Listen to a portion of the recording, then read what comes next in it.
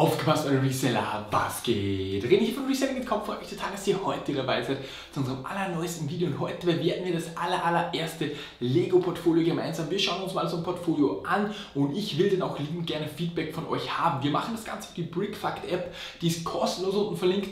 Tragt euer Lego-Portfolio ein, schickt mir das Ganze auf meine E-Mail-Adresse oder per Instagram, alles ist unten verlinkt, wie das Ganze funktioniert.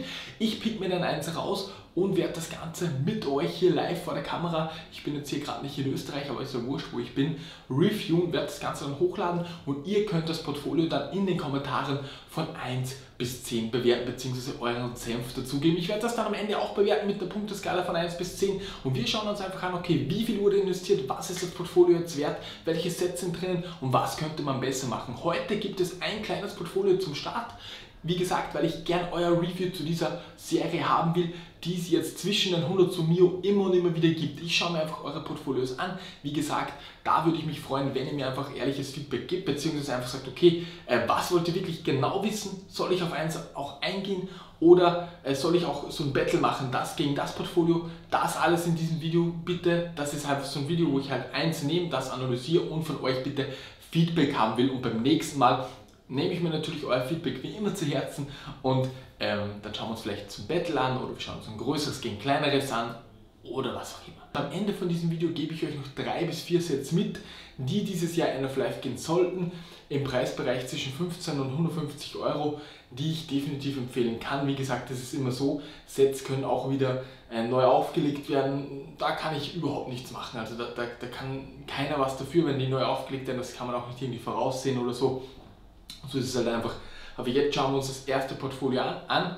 Ich blende euch das dann auch gerne immer hier ein. Das Portfolio hat einen Wert von 3.742,56 Euro. Wie gesagt, ich schaue immer hier her, weil hier habe ich alles ganz genau. Der UVP-Wert liegt bei 4.514 Euro und es sind 8 Themen, 52 Sätze insgesamt. Der hat 3.272 Euro investiert, also es ist schon ein bisschen gestiegen. Wie gesagt, ihr seht, es jetzt eh in der Grafik. Was ist in diesem Set drin? Er hat zweimal das Yoda-Set gekauft, das kennen wir 75255 für 84,60. Ja, meiner Meinung nach ein bisschen zu teuer. Ihr wisst, das, hat, das Set hat eine Preissteigerung hinter sich. Jedoch, wenn man da tief in dieser Materie drinnen ist, dann konnte man das sogar unter 60 mal kaufen damals. Jedoch ein cooles Set. Er hat für 84,60 gekauft. Dann dreimal Seinfeld für 56,41. Hier ist der Einkaufspreis relativ okay. Äh, ja, dieses Set haben wir uns auch mit der Sternebank schon genau angeschaut. Ich habe es auch, aber ich so, so ein Durchschnittsset, beziehungsweise so ein Set, wo ich nicht recht viele für, damit anfangen kann. Es gibt natürlich die Friends auch äh, und dann das QI oder so, das ist immer das gleiche, die gleiche Aufbauart. Haben wir ja ähm, im, im, im Video mit der Steinebank auch ein bisschen genauer angeschaut. Ist für mich jetzt nicht der Bringer dieses Set, jedoch ist der Einkaufspreis hier relativ ähm, gut. Dann wurde am 5. April das 4236 Lego Technik Set gekauft, Formula E Porsche für 27,99. Hier ist das, äh, hier ist der Einkaufspreis auch wieder gut. Formula E Porsche ist auch so ein Set, äh, grundsätzlich äh, nicht so ein schlechtes Set, jedoch bin ich mir hier beim End of Life Datum überhaupt nicht sicher. Viermal das London Set für 28,49 dieses Set ist cool, meiner Meinung nach habe ich auch sehr, sehr oft am Start. Jedoch ist es bei diesem Set so, es ist schon so Ewigkeiten auf dem Markt und ja, das ist halt so eine Frage, äh, wann das vom, vom Markt gehen wird. Das hat am 16. März gekauft, hat sie auch schon eine, eine Weile im, im, im Holding. Dann kommen wir zu einem Set, das extrem, extrem cool ist, nämlich das Imperiale Shuttle äh, 75302. Das ist ein cooles Set, werde ich euch auch dann in einer weiteren Analyse nochmal etwas genauer hier auf dem Kanal zeigen. Für 49,29 hat er es gekauft. Das ist ein Set, äh, da wird er definitiv Freude dran haben. Das ist ein relativ nice Set. Genauso wie mit dem nächsten Set, wenn ihr äh, das End of Life abwartet, nämlich 21330 Home Alone, ein ID-Set für 249,99 hat er das gekauft. Dieses Set, mit dem kannst du nichts falsch machen, glaube ich. Also dieses Set wird ähm, definitiv meiner Meinung nach im Preis steigen. Das ist ein wirklich geiles Set, man hat es auch hier gesehen. Kurz nachdem es rausgekommen ist, ging es vom Markt, war Ewigkeit nicht mehr verfügbar, jetzt wurde es dann nachproduziert, jetzt wieder verfügbar. Also da sind die 349 beispielsweise drin, meiner Meinung nach. Wie gesagt, das ist alles nur meine Meinung, ich gebe hier wirklich transparent und ehrlich meine Meinung weiter zu diesen Sets, aber ganz genau. Dann hat er, also ich sagt es nicht nach dem Welten, sondern nach dem Kaufdatum, was er da immer gekauft und eingetragen hat. Ihr seht es ja auch hier eingeblendet.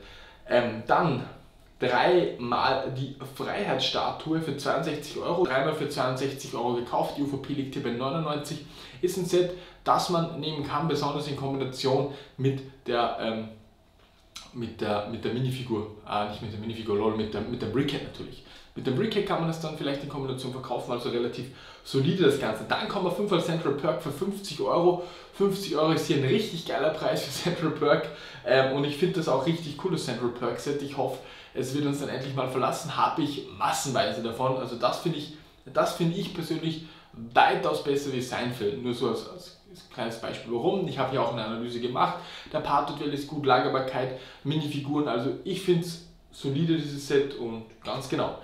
Dann wurde am 15. Dezember 2021 dreimal der Porsche RSR 911 gekauft, 42096, wieder ein Technikset für 299, 97 Euro. Also ja, pro, pro Porsche er genau einen 100er bezahlt, was auch ein super Preis für dieses Set ist.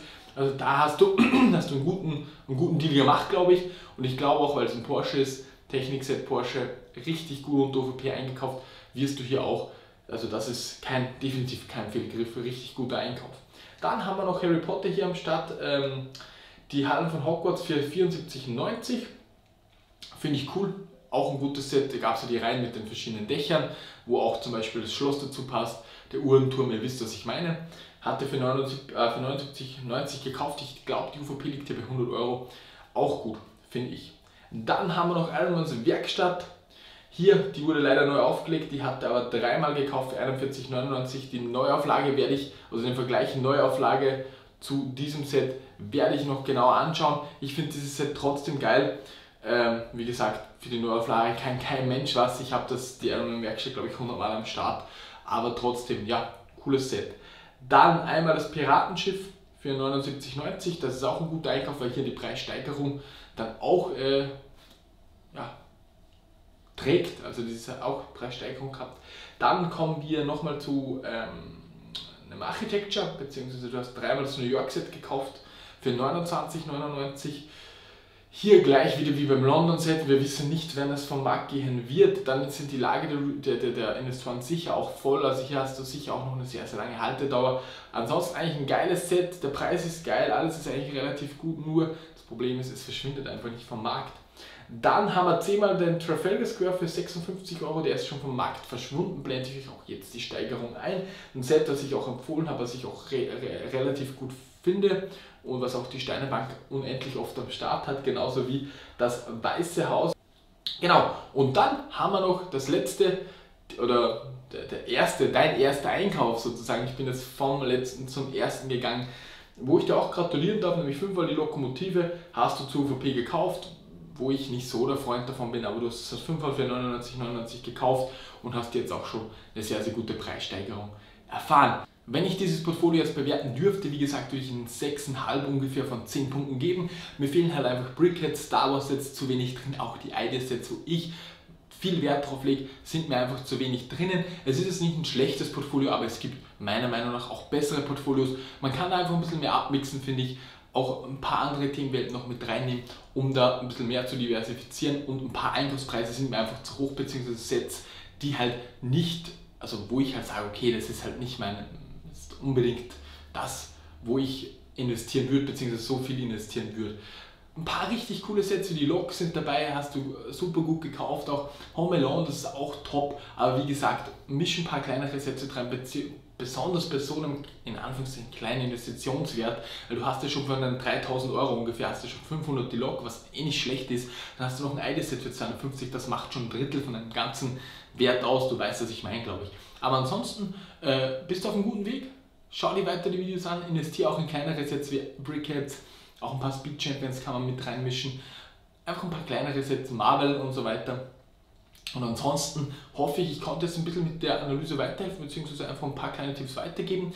Gerne an euch, Freunde, wie gesagt, in die Kommentare damit, schickt mir eure Portfolios, ladet euch die Brickfact App runter, ist wie gesagt absolut kostenlos und dann analysiere ich das für euch liebend gerne. Und jetzt noch das kleine Versprechen, ich sage euch jetzt noch vier bis fünf Sets oder drei bis vier Sets in diesem Bereich, die ich, die End of Life gehen und die ich definitiv empfehlen würde. Ich habe jede dieser Sets analysiert und das gebe ich noch ganz kurz weiter. Also, wir haben 75319 die Mandalorianische Waffenschmiede. Äh, die UVP ist hier 2999, hat drei Minifiguren, zwei davon sind exklusiv. Der und 55 Euro kann ich definitiv empfehlen.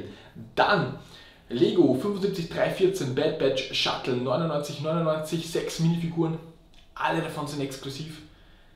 Der, aktuell, äh, der aktuelle äh, Marktwert, man kann es unter 30, also 30% unter der UVP kann man es noch kaufen, also schlagt da definitiv zu, wenn ihr das habt, zu so 30% unter der UVP, 150 ist der Part Value und es ist teilexklusiv, also Belegung bei Smith Toys. Das ist eigentlich ganz, ganz geil. Also da würde ich auch sagen, äh, das hat definitiv Potenzial. Dann haben wir es äh, 79392, das Zauberschacht, das goldene Zauberschacht mit vier Minifiguren. Es ist auch wieder teilexklusiv Lego und Galeria hat es nur am Start und 160 ist der Partout Value. Das ist ein Set, was auch Leute gern verschenken, äh, wo man definitiv viel damit machen kann. Auch so ein Set, was ich euch, oder so ein kleiner, in Anführungszeichen, Geheimtipp. Dann haben wir noch ein, wirklich ein kleines Set, nämlich 76239. Der, das äh, Batmobile der Tumblr, klein, nämlich nicht der fette, sondern der kleine. Die UVP ist 39, 99, 422 Teile. Eigentlich sollte der überall verfügbar sein, was aber nie der Fall war. Der war immer vergriffen und das ist halt so ein Indiz, dass der definitiv gut im Wert steigen kann. Dann haben wir noch 40, 558. Die Clone Trooper für 14,99, das ist das kleine Pack, ich blende es euch ansonsten ein. Drei Minifiguren, Zwei davon sind exklusiv. Die Minifiguren allein machen schon mehr wie, den, äh, wie die UVP aus. Da brauche ich nicht mehr viel dazu sagen. Es ist 2022 rausgekommen, wird es auch vom Markt gehen 2022, wie all diese Sets, die ich euch hier gesagt habe. Schaut da auch definitiv rein. Und zwei Sets packe ich euch noch unten in die Infobox, beziehungsweise diese Sets, die ich euch jetzt gesagt habe, plus zwei Sets sind auch noch drinnen, die 2022 vom Markt gehen, die wir analysiert haben, wo ich Potenzial sehe, wo ich auch selbst investiert bin. In diesem Sinne hoffe ich, dieses klitzekleine Video hat euch gefallen. Gerne abonniert, gerne liked und gerne schreibt mir euer Feedback. Und ansonsten schickt mir fleißig eure Sets und ich schaue mir dann einiges an. Auch dann im Lego-Lager bei uns stelle ich deine Sets auch noch ein paar gegenüber. Da wird es ein bisschen ein besseres Design geben. Aber das ist jetzt der erste oder das erste Video in dieser Videoreihe zum Start. Und jetzt sage ich einfach mal, super schönen Tag, wir sehen uns bis zum nächsten Mal. Euer René. Ciao, ciao.